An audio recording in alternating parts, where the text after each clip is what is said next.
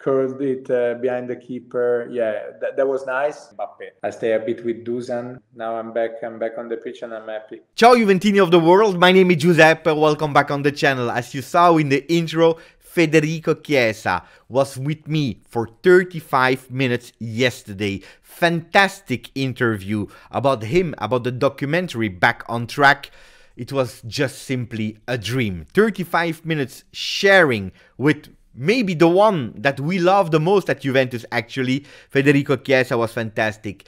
Lot and a big part in Italian, but also parts in English because yes, Federico Chiesa speaks English and really, really well. So in that video, what I will do, because I didn't see a lot of translation online, I will translate the part where he spoke in Italian and I will give you live footage of what he said in English because yes, a lot has been said in English, like for example, his favorite goal or what he's doing after the training session together with Dusan Vlahovic will remain on the channel because it's a nice one. Before starting, I really, really wanted to say that after the live yesterday, I wanted to go live on this channel to share with you the emotions of being live with Federico Chiesa, sharing these 35 minutes, but it was impossible for me. Uh, I was really emotional because it's a dream that came true. Uh, the first thing that came into my mind was sharing these moments with my family, with my son, with my wife, that I have always been since day one there to support me. And guys, it's not easy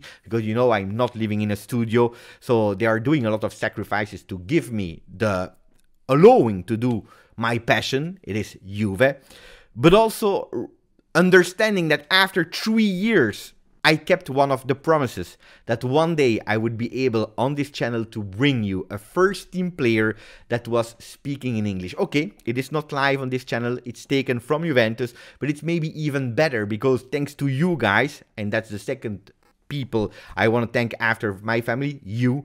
Uh, you made you made it come true because I'm working for Juve today. I have more opportunities today, and this all in three years.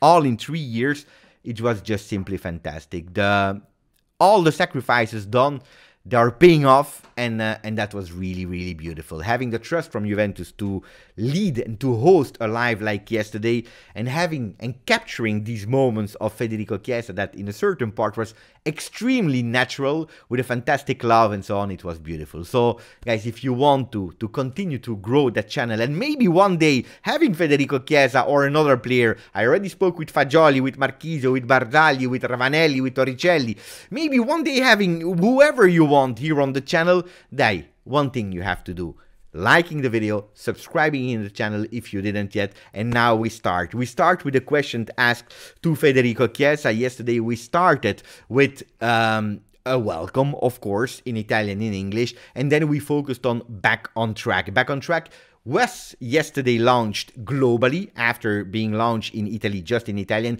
Yesterday, since yesterday, you are able to watch it on Amazon Prime in Italian with all the subtitles from your own country French, English, Spanish, whatever you want to. Go and watch it. I don't want to spoil too much in that video, so be reassured I will not spoil too much. But we asked him what and how what was the reaction of Federico Chiesa when Juventus told him, you know what, you're injured, but we want to follow you. We want to make an Amazon Prime series of 1 hour 20. Do you do you allow us to do it? Well, in Initially, the goal was not to do an Amazon Prime video of 1 hour 30. It was to do some segments all in his process of recovering and put it on YouTube with like small videos. But at the end, it became a really long one involving the family, the girlfriend. He was really speaking about it's not only a recovery that we are showing on the video, but also a bit of my private life. And he said, I appreciated what they wanted to do. So I said absolutely yes. We were asking him about um, the contact because at a certain moment in the documentary he says that he's absolutely not not angry with anybody. Absolutely not with Smalling. He said that he had a lot more harsh contact in his career, that some people fouled him even worse than the tackle of Smalling, but that at the end, Smalling, he went on the ball. And as the mother of Federico Chiesa told him after the injury, he said, what were you expecting? What were you expecting? It is a contact sport. It happens. And so he accepted it quite well. And also in the documentary, you know, they are saying that recovering is 70% in your head it's mental. And that's what he was explaining yesterday with a really beautiful message of not being angry, not trying to find a scapegoat, accepting as fast as possible and trying to think positive. That was really beautiful from him. Did he watch the documentary? Well, he said, Look, I lived it in first real person, but I watched it twice. That was a really beautiful moment. Uh, he continued to speak uh, on uh, the questions about was he scared about the injury after coming back and he said look when i was starting to train in the beginning the first training session of course i was really thinking about it. I was really scared but then with the continuity my fears went away. He also thought about all the people that were not as fortunate as him because that was beautiful in the words of Federico Chiesa. Yesterday he was yes saying i had bad luck with that big injury but in my bad luck, I saw the positive. I was lucky to be in a top club like Juventus that from the first instance of the impact until my recovery when I entered the field versus Paris Saint-Germain, they have always been next to me. And I'm thinking about the players that are playing in minor leagues or in amateurial leagues that do not have the opportunity to be followed day and night. So I'm really thinking about them. And that was also beautiful, showing altruism, not being selfish, but thinking also about the other ones. Sharing that was fantastic. What about the fans? I asked him, Federico, we saw at a certain moment of your recovery phase about you walking on Instagram, the first step, and we had like tears in our eyes when watching it. Did you read the messages of the fans? Did you see the support of all of us being happy? And did that help you? And he said, Yes, absolutely. I saw them. I was super helped by that. That motivated me even more. I believe that I deserve the love of the fans because of what I showed on the field, but it's still helping me today. The support and the love of the fans is giving me that boost, that extra boost, and that was a beautiful one. Speaking also about Giorgio Chiellini, but also Bonucci, uh, players that had these big injuries that were next to him Matthijs de Ligt spoke with him. A lot of people uh, that he mentioned in that video that were there to helping all during that process. And he said it was beautiful to have examples, even if every single injury is different person per person. We spoke then about the other question than the documentary, so go and watch it because guys, it is available and it is fantastic. Also, kudos to Juventus with a fantastic production. Amazon Prime Juventus did a fantastic job. It was the first real production at home from Juve, and I have to say, big, big, big congratulations. We can be proud of doing that. Anyway, we go to his uh, personal questions from the chat idols when he was a kid. He spoke about his first idol that was Kaká. He said Kaká has always been one of my favorite players. What about today? He said Adesso per me il giocatore eh, non che mi ispiro, però che, che mi piace di più guardare è Mbappé. Mbappé. Mbappe, fantastic player. We changed shirt, and that shirt I've put it, I framed it, and I put it on the wall. He was showing. I couldn't, we couldn't see it because he had to turn the camera. But he said, you know, that uh, there is a place in his home for Mbappe. There was my colleague Leandro from uh, Average Juventino guys that told him, you know, when you're running you against him, you are quite uh, in balance. He said, absolutely not. Mbappe is a phenomenon. He's much faster than me, also with the ball on his feet. And guys, when you're 23, are able to score a hat trick in a World Cup final. Guys, you are a phenomenal. So beautiful words there. I asked him about the number seven because in the Back on Track documentary, he's saying why he changed from the 22 to the number to another number, to a number seven. He's explaining why, so I will not spoil it.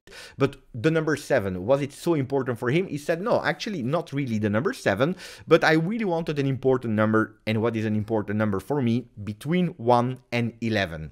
Federico Chiesa is like me. He's exactly like me. He loves the numbers 1 to 11. Then he said, when Dusan, I was speaking with him, I told him, Will you take the number 9? Because then I want the number 7. Then he said the number 7 is already in the history of Juventus with big players, but it's also... Ma il 7 della Juventus che, che è stato indossato da Cristiano Ronaldo. Quindi... Eh, the number seven, the shirt that a certain top five player legend of history was wearing at Juventus, and we are speaking about Cristiano Ronaldo. That was really beautiful. Speaking about the Ballon d'Or, because some fans has that picture of Federico Chiesa with the Ballon d'Or, you know, that Photoshop picture, and that's where he said something extremely important. He said, look, about that Ballon d'Or, whatever, it's nice, thank you, Great question, whatever you want it.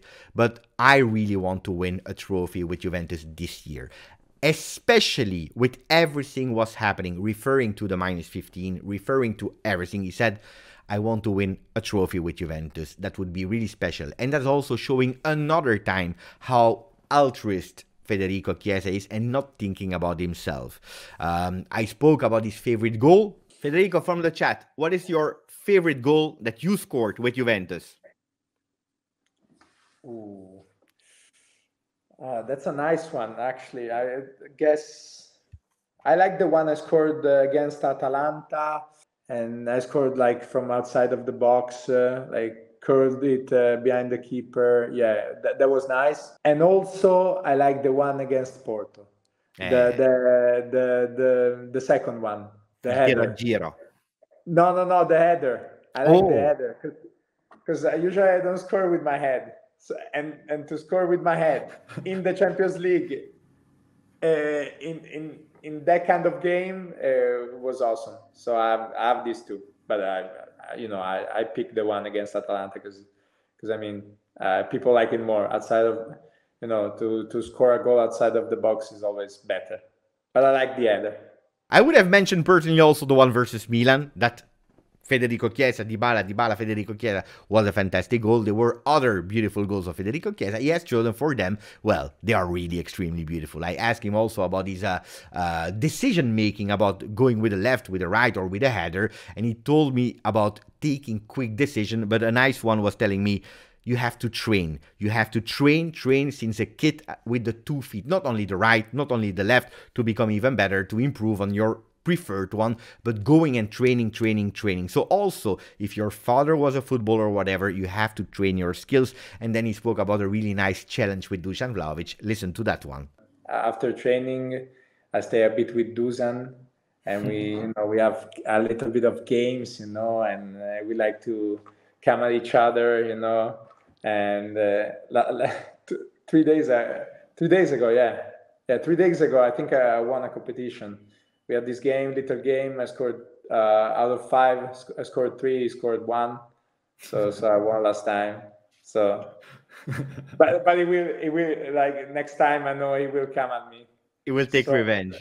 Yeah, yeah, it will take his revenge for sure. We also spoke about his favorite moment of football with Juventus. Well, he said favorite, or at least the most important game he played. He said the one versus Porto, because for him, for Federico Chiesa, it was important believing in that remontada. Unfortunately, it didn't happen. So it's still here for him. It's still annoying.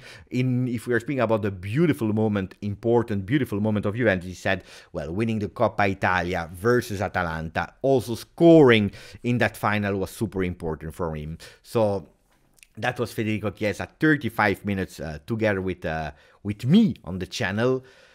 I was sincerely impressed by uh, the kindness of Federico Chiesa about his level of English, about the, the switch of language, you know, like on the field when he's switching between, between the right and the left foot, he was able to do it also during the live between the two languages with Federico Chiesa. If you already loved him, I believe there are reasons more to love him. Thank you again for every single second that you support me.